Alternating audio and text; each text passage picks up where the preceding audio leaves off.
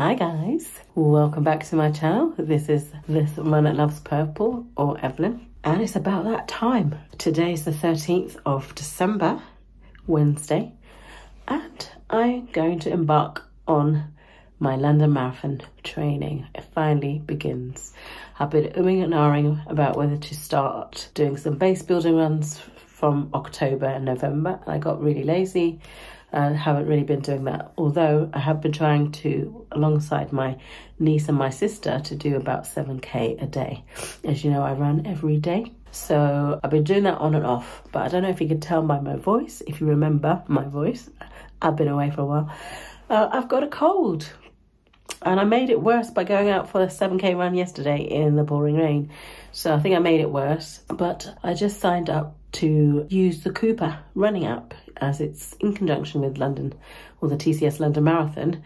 So it's the recommended training app and I've been looking for a plan to use. I was in two minds whether to try and use my Manchester training plan so, so I can try to get back down to four and a half hours. I know it's ambitious, but I thought, you know, if I start early, build up the base, I can get there. So um, I'm confident that I'll get definitely sub five hours, but whether I can get to four and a half is another matter. The Coopah app does ask you certain questions, and I did put in 425, I think. So it will give me the difference is I think it does it on time, not um, pace or speed. It tells you what to run on your average, but it basically wants you to run to time. So one hour, two hours, that's what it says. But my first run of the week um, is a Wednesday. The first two days were rest days. But today's run, I'll put it on the side, is a interval session, which is very slow, um, warm up and walking breaks. But the uh, intervals are quite fast, 5, 12 minutes per kilometre. I'm not quite down to that 30 or sub 30 um, park run yet, although I did do 30, 20 something at uh, Great Denham a couple of weeks ago. So I am back to closer to 30 minutes, but I really would have liked to be an average of 28, 29 minutes each time and at least at my local one which is Wardown because if I can do it there I can do it anywhere really. Because there's four hills we call them but they're quite slopey but um, not quite there yet. I think the fastest this year at Wardown is 31 27 I think and then my overall fastest time actually was under it was 29.54 at Great Denham so I did get to one sub 30 minute park run but or 5k but that was at a flat course and it was only two loops. So I was proud of myself to get there but I haven't really got very close and we've started to do some tourist um, ones as well so they're quite hilly so I'm not gonna kick myself in the teeth about that. But yeah so I have this cold and I have this run streak and I have the Coopah app saying I should start today. So it mounts to about 4k so I'm happy with that. I don't think I would be able to do I mean I could do it because I felt good yesterday. I just, just think I made it worse by running in the rain. So maybe I shouldn't really be running outside until I feel better so I'm going to the gym now to do the run. So the paces will be a little bit slower because the gym never matches my watch but I've worked out what the uh, minutes per kilometre pace is in kms per hour and uh, miles per hour depending on what the uh, treadmill has been set to. And I'll just stick to that and I'll finish it. So excuse me. So it's a 10 minute warm up 10 minute cool down and about 10 reps of one minute fast one minute walking recoveries. So I think I should be able to manage that. In my head I can. And I'll be inside so I haven't got that far to go. If I just need to stop I just need to get to a mile then I'll be happy but I should manage 4k so it says average 4k but it doesn't really give you the time. As I say it says no pace but it does give you the pace to run so it's a bit weird but we'll see how it progresses the app looks nice the initial free week we'll see how that goes but seems like there's only obviously a week and for me I've done five sessions because that's the most that you can select. And of course, the two days I'll either do 7k at heart rate, zone two, or I'll just do a mile depending on how I feel. If I feel better, it'll be back to 7k. The good thing about the app is that it also takes you through strength training, yoga, and other forms of exercise during the week. So I don't really get to do that. I have just come off a nearly 75 day, is it 75? A 12 week program with Get Fit with Rick. It was a shred, a sculpt and shape 12 week program, but they weren't long enough because I wanted to do 45 minutes of exercise plus my run.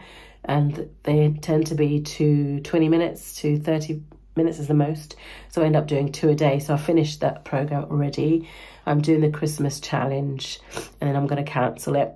And if I want to do them, I'll just do them from YouTube because most of them are from YouTube. There are some few member exclusive ones which are quite good, but they're few and far between. So I don't think, um, I mean, it was good. Accountability is good. Being part of the group and staff and the live um, streams that he does every week is good. But I don't really get involved in Facebook groups and stuff, so it's not really my thing. So I'm not going to really miss much, and I don't have to pay the, money. So, and then if I like the Coopah app for the week, I will pay for the um, quarterly. So just pay for two quarters, and then I'll cancel it after the marathon. So that is my plan. So I will put along here what the plan is for this week. I think it's a the interval session today. I think a three k run on Friday, strength on Saturday, but also I'll do park run and then a, I think an hour run on Sunday. So we'll see how it goes. Well, anyway, hopefully you'll come back and watch my updates. It's been a while, but I'm back. All right, I'll let you know how it goes.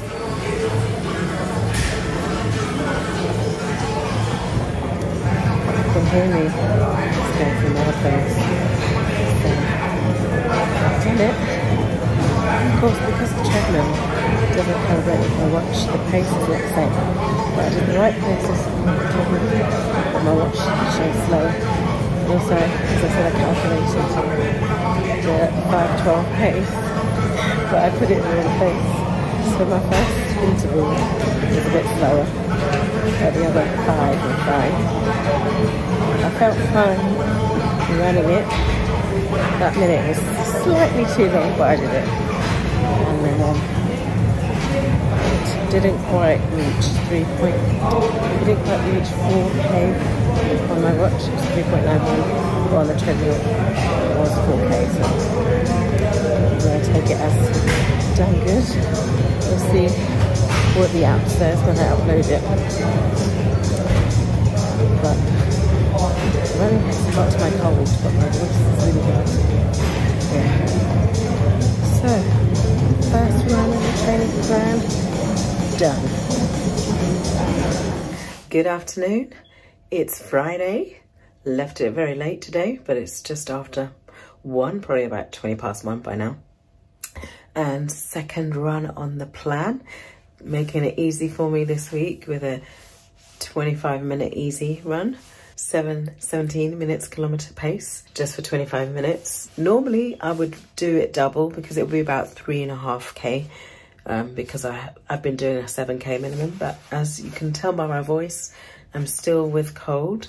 Much better today, but still not 100%. So I will just stick to the easy run and uh, I'm doing it as an errand run. So I have to pick up some medication from Boots. So I'll do a little run to town, pick up the stuff and then walk back. So be running with my friend's bag. So that make it easy as well. Um, although, yeah, actually I've been running the 7K in last week in about 708 and fast is probably about 658. So 717 should be fine. But again, I'm a little bit ill did my Get Fit with Rick workout this morning and I did feel much better than when I did it yesterday. So I must be on the mend. But yeah, so that's day two of the London Marathon training plan via the Coopah app. Sorted, so gonna get out and run. See you in a bit. And I'm done in the town centre, Luton. Get ready to go in the mall to get my stuff and boots. I managed to do, um, I kept within the pace. The pace range was 656 to 717 and uh, I think I did 702 So not bad. It didn't feel that easy. I could have pushed myself further, but it didn't feel easy, easy. But yeah, I'm still a little bit ill, so that will be why. But yeah, so second run done. And I'm happy. Alright, good morning. I'm here at Park Run, ready to do my 300th. I put it on my back. 300th Park Run today. Um, today's session, also about to start. Can you hear? So I haven't told anybody that's my 300th, so I won't get an announcement. I told them it was my 250th. I didn't get an announcement anyway, so bothered not. um, but yeah, today on the plan was a strength session, so I did that this morning, 27th it was. Uh, 27 minutes it was. Went well, nice. Not too too bad, not too uh, strenuous for the first one. But yeah, all right, let you know how it goes.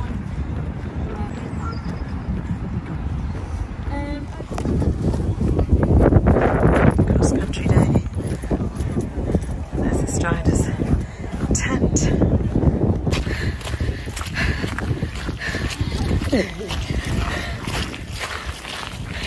Hi guys, I've now finished the run.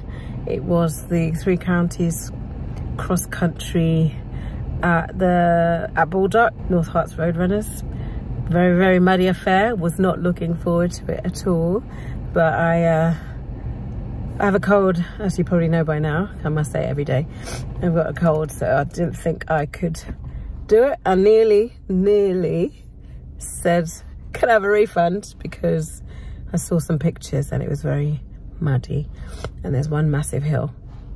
But you know what? I actually enjoyed it. It was a bit of an effort, needed some energy, took some energy out of me more than normally, but because I've got the cold. But no, I enjoyed it. It was good. It's a lovely sunny day. Uh, not as cold as it could have been. It still was cold, but not as cold as a normal cross-country day would be in December. Um, but no, it's funny. It was fun. Can see out the fields. So we're just in the car park now. And that was the HQ. It's all getting shut down now. But yeah, that so that um, counts as my 40 minutes uh, long run for the first week. So it's a nice easy week because it's well before the 16 week. I think it's easing me in slowly. Um, but I feel like despite the cold, I've managed to complete it. Today's run, I was definitely slower than I should have been for the 40 minute section, but that's mud and hills and um, cross country. So I'm gonna take it. I obviously did about 20, not obviously, I did about 20 minutes longer than the prescribed uh, amount of time. So as I said before, it does do it via time, but it does tell you the approximate pace and distance that it should work out to be. But it's really what you can do in the time. So yeah, I'm liking it so far. So it's been a week, week one and a week on the Coopah app. So I think I will go ahead and purchase it. I think it will automatically take my money, but I'm only doing it quarterly. So it's 20, 20 pounds or 19.99. So I like, I like the app. It's quite cool. You get to speak to a coach if you want directly. I mean, they don't reply directly, but you can tell it's somebody responding to you. So, so far so good. I like the interface and I like when you import your run, it there's like a nice comparison between what you're supposed to do and your target. I don't like the way it counts your splits from your watch and messes up the splits that it's supposed to give you. But apart from that, looks good. I like it. So that's week one of London Marathon 2024 training done. So far, so good. I feel I have the cold and I was able to keep up with the paces apart from today. Um, okay, so once I don't have a cold, I should be in better shape to um, to do the runs. But overall, happy with the week one. So roll on to next week hope you enjoy the video. If you do, please do smash that like button. And uh, if you haven't subscribed already, please do subscribe. And I'll see you next week for another one. Take care. Bye.